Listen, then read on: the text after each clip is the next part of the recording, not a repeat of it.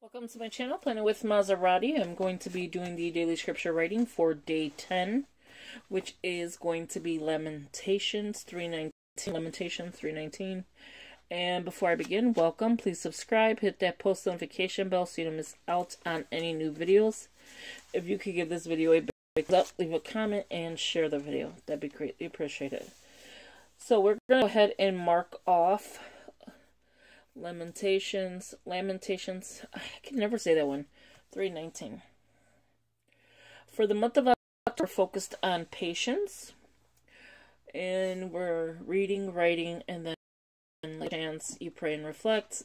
You're obviously going to do it all together, but on here, I do it later because it's just something I do.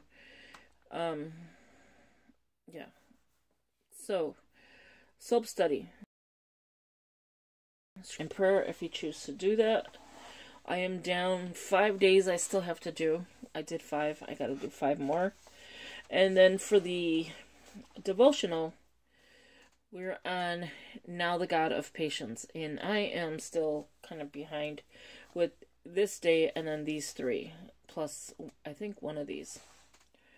So, yeah, welcome. Please subscribe. It's been a long road for me.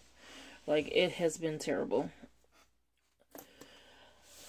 Had to go to the hospital today. He's having surgery. Um, well, he had surgery. When I went to the hospital, they said that I guess the night before when I took him to the hospital, he was having you know, severe abdominal and esophagus issues. Well, we're thinking it's um ulcers. Well, come to find out, we don't know if he has ulcers or not. Come to find out, he was having a gallbladder attack. He was loaded with stones in his gallbladder. Like, they said it was slushy, disgusting. I mean, he was naming all kind of, like, weird things for this gallbladder. It was so disgusting. And so, they took him down. They did emergency gallbladder surgery because usually whatever happens on Friday and Saturday will hit Monday, and then whatever happens like Sunday, they didn't finish on Saturday. Sunday will hit like Tuesday and so on. Like, you know, it goes in order. Well, some of them were easy to do, like, and it's not just gallbladder, it's any surgery. And some of them were easy to do, and some of them, you know, I guess took some time. So they tentatively put him for 3 o'clock. Well, they grabbed him at 1.15 ish so we went down to the um the operating room where not the operating room, but where they put you for your operation. So we went down there and, you know, people were coming to see him, the anesthesia, the well, the one that was gonna the gallbladder, the one that did the gallbladder came to the bedroom upstairs, the room upstairs. And he was like, "Stop eating rocks outside." You know, he was a jokester. I like that because he's a jokester and so they were saying about you know you were loaded whatever you know do you have i don't know like he's has he has other issues. We are talking about a scope being down his throat so that they can find out what's around his esophagus. They just want to make sure he doesn't have cancer. That was one of the things they were worried about. And so they took him downstairs again at like 115ish i would say no later than 1.30 they were there to pick him up. Like they were ready to take him down.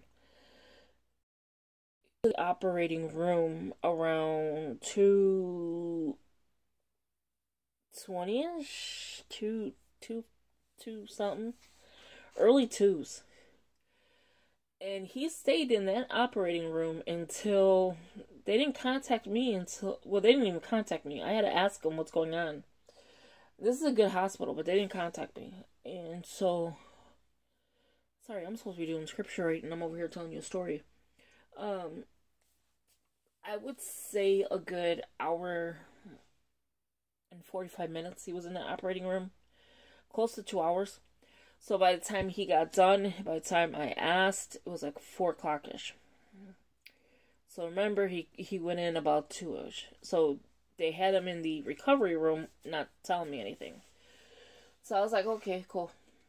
I'm like, you know, is anybody going to tell me what's going on? After I found Sadie, she's like, yeah, I'll come back and tell you, you know, where he's at. And she's like, he's in recovery. I'm like, okay, well, the doctor never came to me. She's like, I'll go let him know. Well, he finally came to talk to me. All he said was everything went well. I was like, okay, like, thank you. So he's like, you could just go upstairs. Now, my, we're in 4 o'clock ish, like around 4.30 ish. Even sooner than that. So I'm saying it took a good at least two hours downstairs. So maybe like 4.30 ish. And I go upstairs. Some guy comes in. He's like, Jackie, right? I was like, he's not here. And he was like, well, we have to, you know, have him see me at my facility. I'm like, if you don't do it now for him with a scope, he won't do it. He's that type of person. I'm like, he won't do it. You'll have to do it here while he's here because he won't do it. And he's like, okay, well, I can see what I can do. His medication's not right. What happened to his other doctor? I was like, she quit. She really did. She quit. Like, COVID hit and he had COVID. I had COVID. You know, she was pregnant, and she quit. Like, we didn't hear anything about her until he called to have an appointment. Yeah, they said he she quit. His heart doctor told him. So then he finally comes up at 6:30 and I have to leave. So I'm like I can't see outside. It's dark. I can't see, so I had to leave. So let's get into Lamentations 3:19. Thank you for everyone who's prayed for him. Thank you for that prayer that you put on my channel. I greatly appreciate it. I do I thank you because that helped him. Like he's not throwing up. He uh he hasn't thrown up I think all day today. He didn't throw up when he came back. They tried to give him and I didn't understand this one I was like, how are you giving this patient mostaccioli with meatballs? He just had something in his throat to see, like a camera, whatever they put in your throat. I don't know the technical terms for that, but he had something in his throat so that they can see what's going on. And you're sitting here, a breathing tube. It wasn't even something for to see what's going on, a breathing tube, so that they, you know, help him breathe. And you're gonna give him mostaccioli with red sauce. Now, if anyone has acid reflux or anything like that, you know you're not supposed to eat that. She's like, well, they said a general diet. Well, general diet doesn't mean you give a acid reflux, someone that's thrown up all the last two weeks, especially yesterday was the, you know, he was just constantly going. And you want to give him mostaccioli. They gave him pineapple. Now, pineapple is sour to your stomach. Like, if anyone eats pineapple, it could be sweet, it could be sour. It's one of those things. To me, at least, it's sour to my stomach. They gave him apple juice. Mm, it's okay, I guess. And they gave him a brownie that I took like a tiny little, tiny little smidge. I had to spit it out before he got up there because I was like, that was gross. Me and hospital food would never be. Like, we will never be. I will be the skinniest chick. You want me to be skinny? Trust me. Put me in a hospital. He had to sneak me when I had COVID and sneak it to the security guard to bring up to me, and it took a long time. A sandwich from Subway because I will not eat the hospital food. I you could be on your last leg and I will not eat hospital food. That is disgusting to me. So let's begin. And that's where patience is because patience I had today, like I was good with the patience. I did want to know what was going on with him, but I was good with patience. Like I sat there, I played in my planner, I wrote my list down for today, and I just did. And none of my list got done, but I did write it down. so Lamentations 3 uh, 19. I remember my affliction and my wandering, the bitterness of the bitterness and the gall. I'm gonna have to look this one up because this one was on, you know, for patients. Let me know what you feel like this would be for patients. I'm saying wandering. So I'm underlining this. Because gall is like something, you know, you toss up, but I don't know if that's the case. The bitterness and the gall. So I don't know if that's the case. But I did go ahead and write patience. So we're going to go ahead and write this out. And then I will read it from here. I usually have done that in the past where I would read from the Bible and then read from the page after I'm done writing. I kind of miss doing it. And yeah, so I came home. I made me sauce that's burning my stomach right now. Because I did ravioli. Like, and I know I should not be eating cans. Cans are not good for me for the sodium, the sugar, anything like that. I did make tuna for tomorrow. I didn't make it, I just put the cans together. But I do have tuna for tomorrow, so I don't have to worry about dinner. That's taken care of.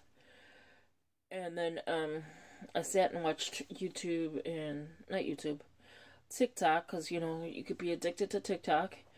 And then I watched The Voice, but more like listen to it because I'm not into The Voice like I used to be. So let's go ahead and read this one. Sorry if it's shaky. I always say that, but it's it's shaky. I remember my affliction and my wandering, the bitterness and the gall. So there's that one. This is the NIV version. You know when I like something because I use the the the the everything out of it. I was trying not to swear. And I got the hiccups. So I've been really good with water lately. I'm gonna stay off of uh, iced coffees because I've noticed with iced coffee, my stomach tends to burn. Like, I am lactose intolerant. And so I put cream in that milk. But I don't know what it is. My stomach just burns. Like, it stays burning. You feel like you have to go to the bathroom, but you don't. Like, it's not even that case. So, yeah, I don't know. I, I need to stay off of junk. So, Lamentations 3 and 19 remembering mine affliction and my misery, the wormwood and the gall. So this throws like a punch at me because I'm like, what in the world does that mean? So I will do some research and study it. Remembering mine affliction and my misery, the warm wood, the warm, worm, not warm. I'm seeing an A and then an O. Warm Monserrate speak. I know you're tired. Wormwood and the gall. Worm, like a worm in the, the ground. So yeah, so that was kind of crazy. But thank you for watching. I hope you enjoyed it. I will talk to you in the next video. Hopefully I'll have good news tomorrow because today was... It was good though. I have to say, like, they really did him very well. I mean, all his doctors, nurses, anyone that walked in that room was crazy. And in a funny way. Like, the doctor's like, you need to stop eating rocks.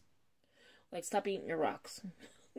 Are you finding rocks outside? And I'm just cracking up laughing, like, oh my god, this doctor did not just tell him that. But they were all funny. It's, my daughter calls that place, um, bougie. I don't know why, because it's not bougie like she says. It's, it's a very nice neighborhood like a high end neighborhood, I should say, and it's really good. Like that hospital is really good, and they're a trauma uh, unit. They're trauma two. I guess that would help to say that. And um, I'm just writing this for tomorrow. They're a trauma two. What else was I gonna say? They're a stroke. So they're a stroke unit. What else? So tomorrow is James 5, 7, 8.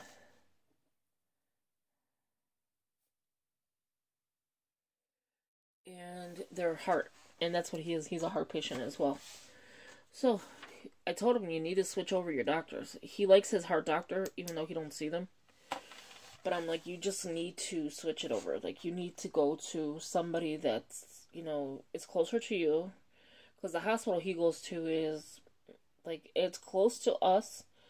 But, like, for other things, it's further out. Like, their hospitals, they have, like, multiple of.